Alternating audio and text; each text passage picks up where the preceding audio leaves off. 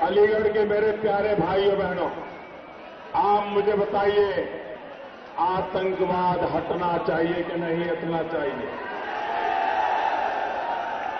पाकिस्तान में घुस करके आतंकियों को मारना चाहिए कि नहीं मारना चाहिए?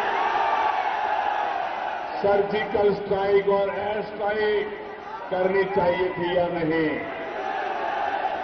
हमारे वीर जवानों को खुली छूट मिलनी चाहिए कि नहीं? आपके चौकीदार ने ठीक किया? आपके चौकीदार ने ठीक किया?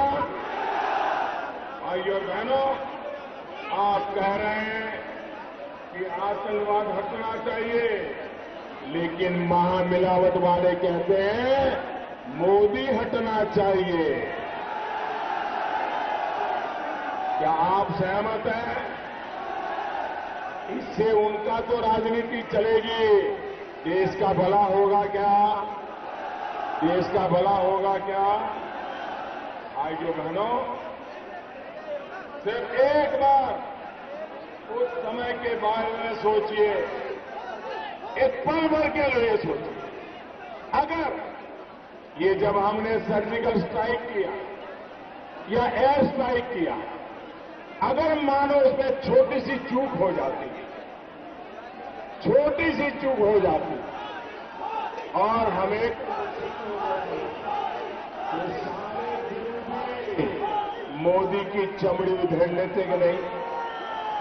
मोदी के बाल नोच लेते कि नहीं?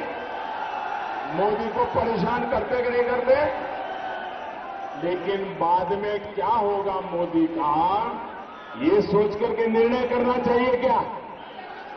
अरे मोदी अपनी कभी सोचता नहीं है, मोदी सिर्फ़ देश की सोचता है।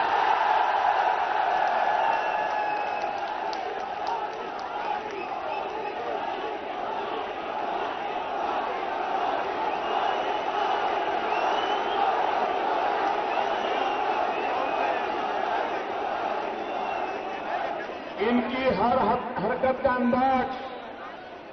मुझे था, लेकिन ये मेरा निश्चय था कि अब देश में थे आतंकवाद को जड़ों से उखाड़ना ज़रूरी है।